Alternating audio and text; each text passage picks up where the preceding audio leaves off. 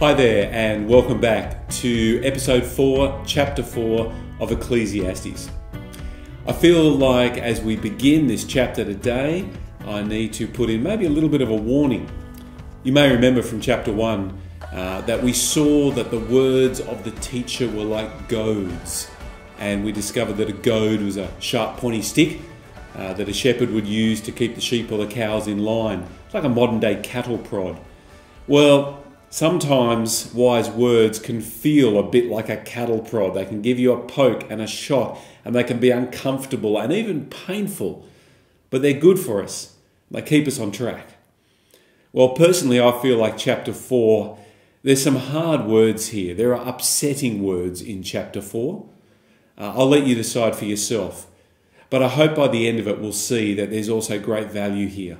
And even though some of them are hard to read and and hard to even accept at times. But these are words given to us by God through the teacher, and they're for our good. So let's jump right in and see what we have. In chapter 4, what you've got is another exploration by the teacher. He looks around the world, life under the sun, and he isolates four things that he sees that really sum up how sinful human nature has distorted God's good order. Not just distorted God's order, but also made it hard for us to see that order. We look around and we throw up our hands in despair. We say, meaningless, meaningless. Is everything surely meaningless?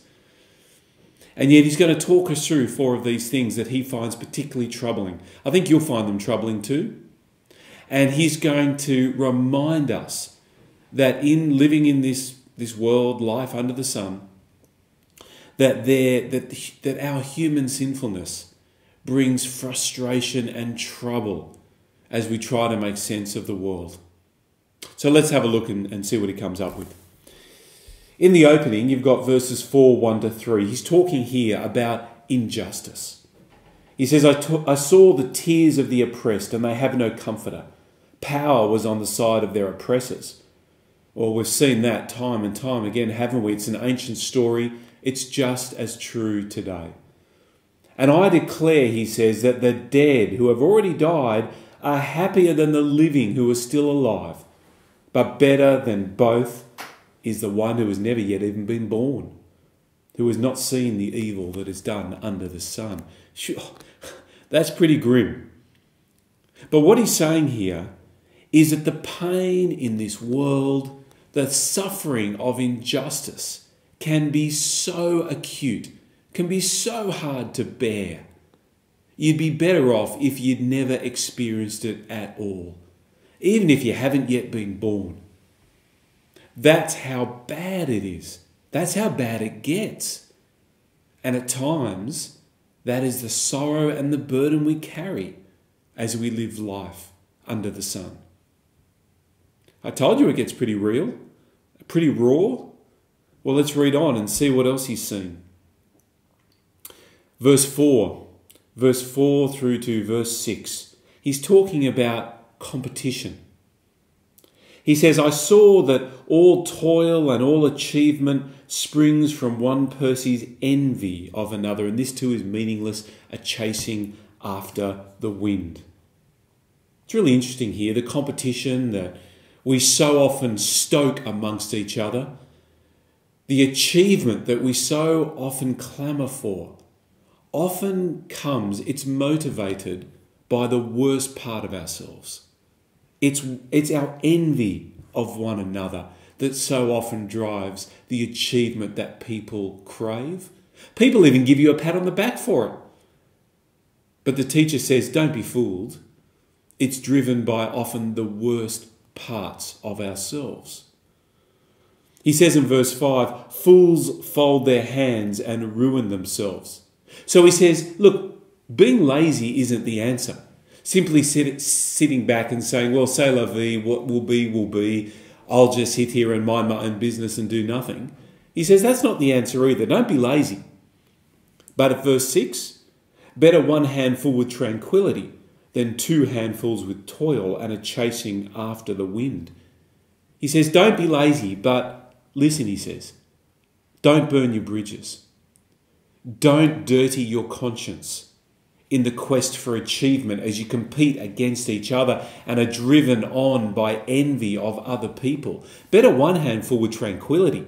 Better to have peace and have less than get it all and burn your bridges and live with a compromised conscience and tread on the heads of those that you once called friends. Competition, it's meaningless, it's empty, it's hevel, it's destructive. And it's also part of the symptom of living in this sinful, broken world. We pick it up again in verse 7 through this time to verse 12. This section, he examines loneliness. So we've had injustice, we've had competition.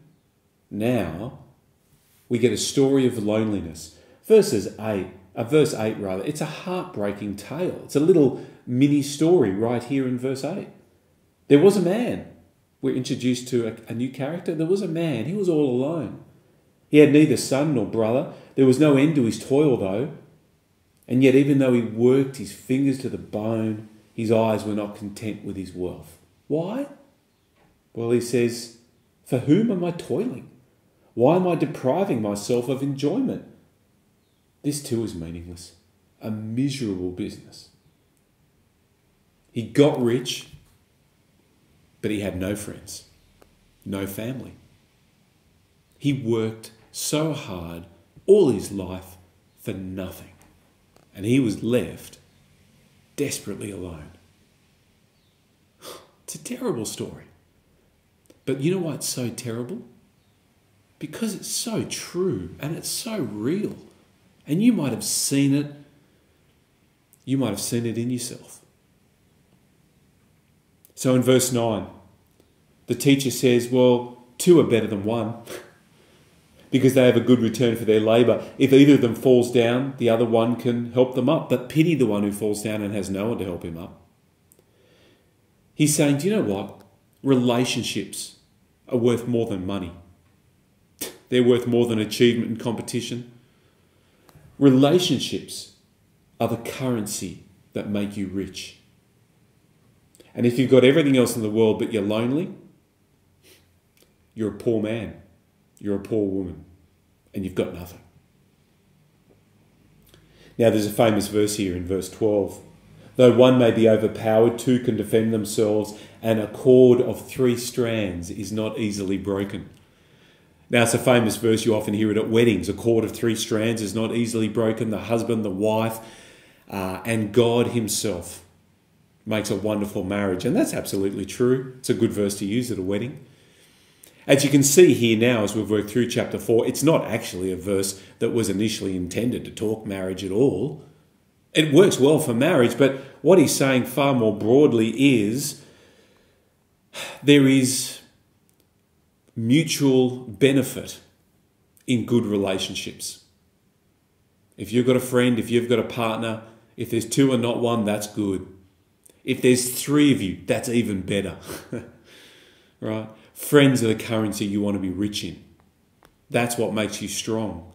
That's what helps you stand amidst the injustice and the, the competition and the envy, and even those days where you feel lonely yourself. Well, let's have a look at the last part of the chapter, verses 13 through to 16. He's investigated injustice, competition, loneliness, and now self improvement. I'm not going to read it in full, but what we get in verses 13 to 16 is a rags to riches story. It's a story of a young man who succeeds and becomes the king. And there's something noble in it because it's better to be wise and young than to be an old and foolish king. And that self improvement story, that rags to riches story, is admirable. It's good. We see that. We go, yeah, there's something right about that. That's the way the world should be. You don't want an old, foolish king. Wisdom sometimes comes with age, but it doesn't always come with age, does it? You can be young and wise just as much as you can be young and foolish.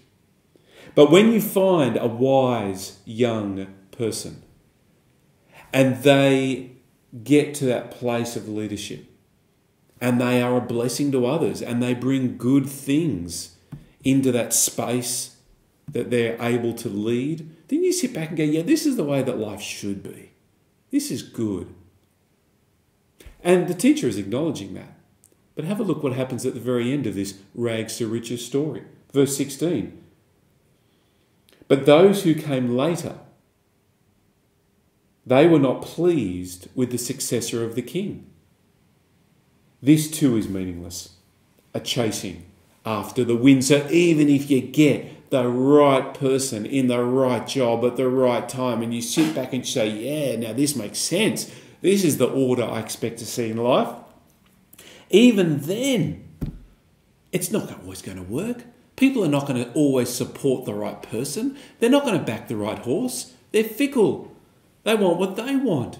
They won't always choose what's best for others.